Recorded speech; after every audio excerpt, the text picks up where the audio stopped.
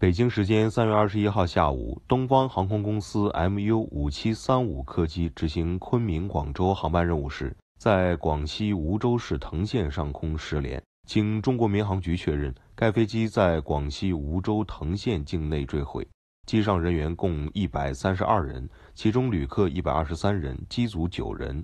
三月二十二号，已有部分乘客家属抵达广西梧州藤县。记者采访到了坠毁航班乘客家属雷家荣。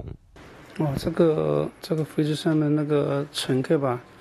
是是我家外甥女的那一个老公，是九一年的。他去他去去广州，他是去工作。对，家里面在住在昆明，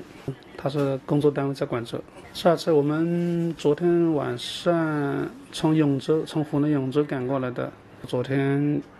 下午是四点多钟啊，才才那个听到我外甥女 给他打的电话，之后我们就查看了一些网上面一些信息，所以说就确定了，确定就是在这个航班上面，所以我们就准备就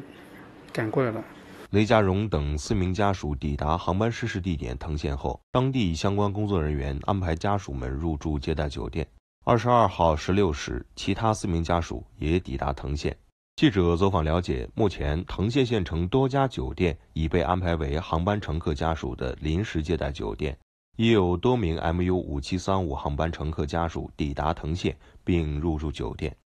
据悉，目前现场救援、善后处置及事故原因调查等工作正在进行中。中国民用航空局已派出工作组赶赴现场处置，开展事故调查工作，并对全行业加强航空安全提出具体要求。